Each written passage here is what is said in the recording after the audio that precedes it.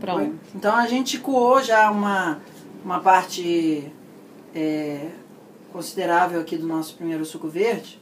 E olha só, só para ilustrativamente, isso daqui que ficou de massa aqui dentro, deu para quatro pessoas terem um drink de suco verde dentro da quantidade que no Ayurveda faz sentido. Isso daqui você pode transformar em massa, de bolo, o que quer que seja, de biscoito.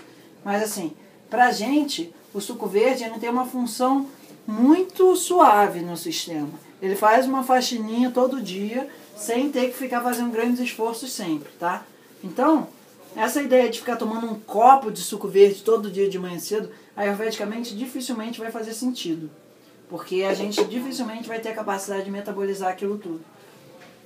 Uma coisa que o Ayurveda e a cultura é, da alimentação viva têm absolutamente em comum é a perspectiva de que você e o alimento são uma coisa só.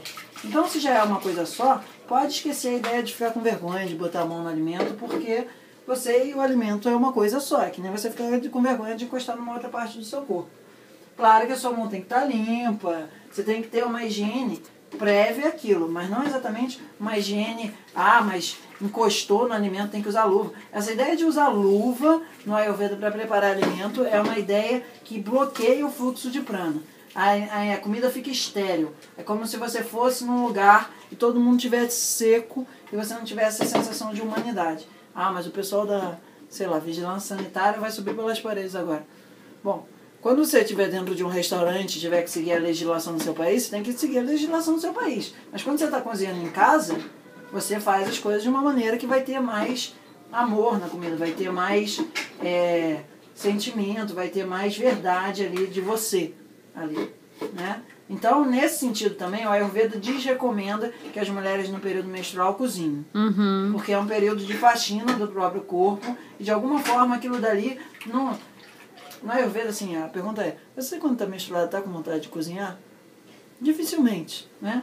Então, assim, muito mais do que uma regra para deixar a mulher presa e não sei o que, não sei o que lá, a gente fala assim, observa, será que quando você está menstruada realmente você quer correr uma maratona, quer cozinhar para a família inteira? A, a resposta no Ayurveda é, no geral não. No geral você não quer, tá? Então agora a gente vai começar o processo de coar a segunda etapa ali. E como a gente está usando essa água de coco, o suco verde fica muito mais suave. Qual é o problema ayurvédico do suco verde daquela forma super concentrado, super puríssimo ou qualquer coisa? Ele agrava a vata. Por quê?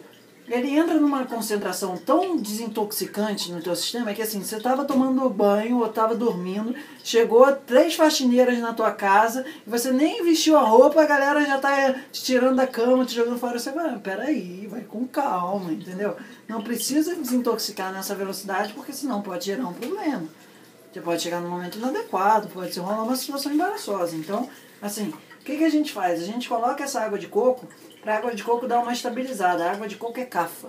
Ela aumenta a quantidade de plasma no teu sistema e ela transforma o suco verde numa concentração próxima do teu sangue.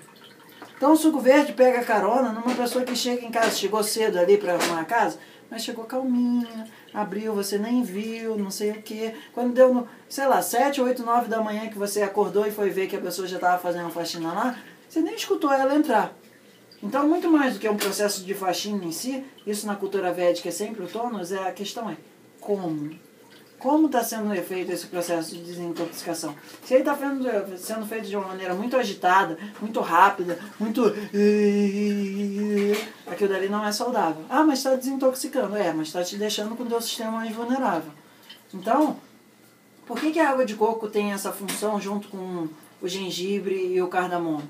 Ela torna fácil de digerir e num veículo de homeostase no teu sistema.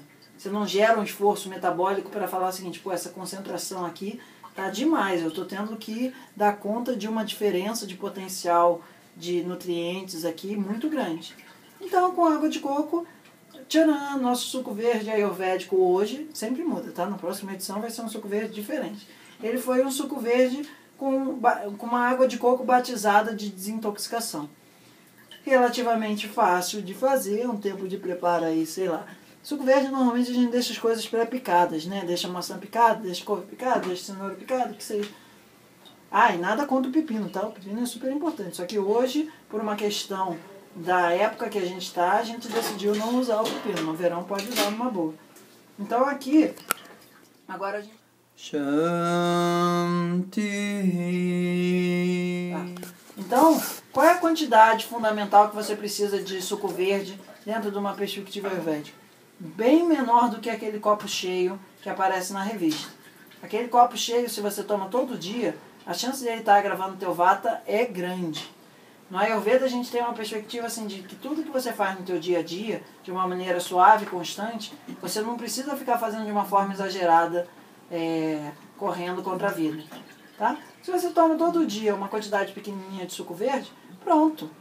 Já está fazendo, teu, o resto você está fazendo xixi de suco verde. Aquilo dali não está tendo nenhum efeito fisiológico consistente no teu sistema. Se quiser usar aquele sistema mais tradicional de usar o pano para fazer isso daqui, melhor. Isso daqui é uma versão improvisada, mas meu pita gosta do desafio. tá? Então assim, agora vamos mostrar só o que, que é uma quantidade considerável como adequada para uma pessoa tomar num dia. Por exemplo, assim, se a pessoa toma todo dia isso, ela vai e pega uma quantidade de suco verde, tipo 100 ml. Ah, mas só isso? Ah, tá bom. Aí eu que sou de super pita, eu falo, cara, isso daqui não tem a menor graça. Vamos botar um pouco de animação aqui. Pega um pouquinho de. É, como é que é o nome disso daqui? Ó. Deixa ele uma. Tem que ser no mínimo pastosinho, senão, pô, vai chegar ali nem o buraco do dente vai tapar, entendeu? A função do suco verde é assim, tapar o buraco do dente. Então, é, é, ó, agora, ó. Hum, nojentinho. Aí pronto, você pode comer. Nossa. Isso na vida de um pita tá, vai, né? O pita que tá assistindo isso daí vai me entender. Todos os outros vão achar isso um horror. Vai fazer o quê? Fim desse sistema, então, respeito a ele. Aí, isso daqui é meu suco verde. Olha como é que ele já tá mais, ó. Quase não mexe. Aí pronto. Hum, dá pra mastigar. Então, então pro estudo perpétuo tá liberado Milkshake. o milkshake de água de coco. Fica bem mais picante, assim, fica mais legal.